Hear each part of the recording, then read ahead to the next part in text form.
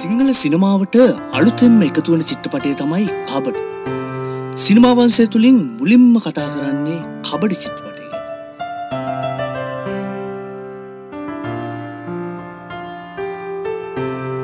කබඩි චිත්‍රපටය නිෂ්පාදනය කරන්නේ දේශමාන්‍ය නිසාන්ත ජයවර්ධන. ඒ වගේම මේ චිත්‍රපටය අධ්‍යක්ෂණය කරන්නේ දේශමාන්‍ය හර්ෂ උඩකන්ද. හර්ෂ උඩකන්දගේ හයවන අධ්‍යක්ෂණය තමයි කබඩි. මේ තිරරචනය හර්ෂුඩකත්න විසින් රචනා කර ඇති අතර චිටපටය කැමරා කරන්නේ ජනිත් ගුණසේකර විසින්.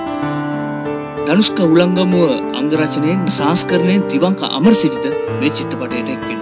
චිත්‍රපටේ ගීත ගායනා කරන්නේ උරේෂා රවිහාරය.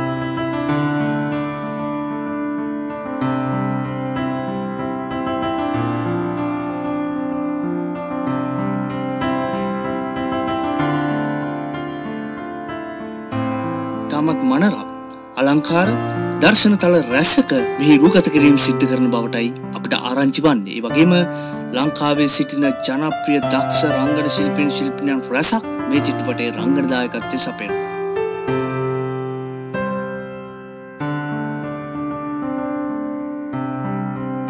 අමිල කරුණානායක තමයි චිත්‍රපටයේ ප්‍රධාන රංගන ශිල්පී.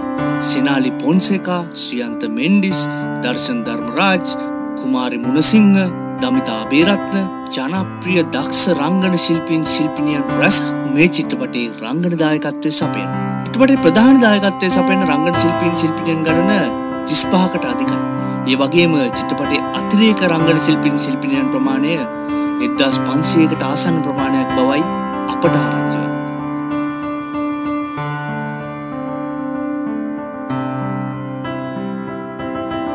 කබඩි චිත්‍රපටයේ දර්ශන තලවල දර්ශනත් රැගෙන තවත් අපූර් වැඩසටහනකින් සිනමාවන්සයෙන් හමුවනතුළ ඔබට ජය.